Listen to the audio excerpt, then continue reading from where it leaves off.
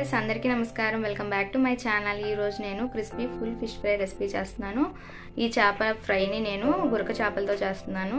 చాలా టేస్ట్గా ఉంటుందన్నమాట. అయితే నా ఛానల్ ఫస్ట్ టైం చూసిన వాళ్ళు సబ్స్క్రైబ్ చేయండి. పక్కనే ఉన్న బెల్ ఐకాన్ ప్రెస్ చేయండి. ఇప్పుడైతే మనం రెసిపీ చూద్దాము. ఈ చేపల్ని నేను ముందే మార్కెట్లో కట్ చేయించుకుని తీసుకొచ్చాను.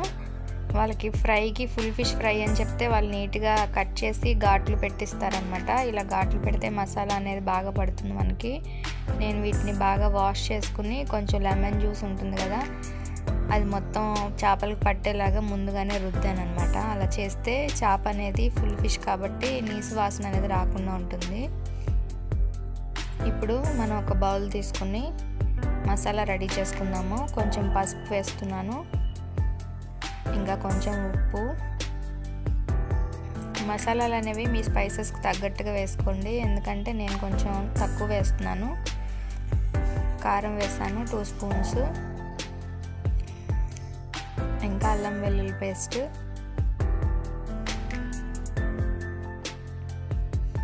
కొంచెం గరం మసాలా. కొంచెం ధనియా పౌడర్ అన్నీ వేసుకొని బాగా చేత్తో మిక్ మసాలా అంతా బాగా మిక్స్ అయ్యేలాగా కలుపుకోవాలి. ఈ కలుపుకున్న ముద్దని మనం మన చేపలకి మొత్తం చేపలకి పట్టేలాగా మొత్తం రుద్దుకోవాలన్నమాట. ఇప్పుడు మన మసాలా రెడీ అయిపోయింది కదా ఈ మసాలాని మన చేపలకి పట్టేలాగా మొత్తం చేత్తో లోపలికంట వెళ్ళేలాగా ఘాట్లోకి మొత్తం పెట్టుకుందాము. ఇప్పుడు మసాలా పెట్టి ఒక వన్ అవర్ పక్కన పెట్టుకుందాము. ఫ్రై చేసే ముందు మళ్ళీ ఇంకో బౌల్ తీసుకుని అందులో టూ స్పూన్స్ కార్న్ఫ్లోర్ వేసుకుందాము. అలాగే ఆయిల్లో వేసేస్తే ఏంటంటే మసాలా అనేది విడిపోతుంది అనమాట ఇంకా రెండు స్పూన్స్ శనగపిండి వేసుకుంటున్నాను. దీనిలో కొంచెం కారము ఇంకా కొంచెము ఉప్పు వేస్తున్నాను. లైట్గా ఇందాక వేసాం కదా మరి స్పైసీ అయిపోతుంది. ఒకసారి మీ స్పైసీనెస్కి తగినట్టుగా వేసుకోండి. ఇందులో కొంచెం వాటర్ పోసుకుని లమ్స్ లేకుండా నీట్గా కలుపుకుందాము. దీన్ని ఫిష్ మీద కోటింగ్లా చేసుకుని వేసుకుంటే బాగుంటుంది. ఉండలు లేకుండా తగినన్ని నీళ్ళు పోసుకొని కలుపుకుందాము. ఇప్పుడు మనం రెడీ చేసుకున్న ఈ బ్యాటర్ని చేపలకి పట్టించేసుకుందాము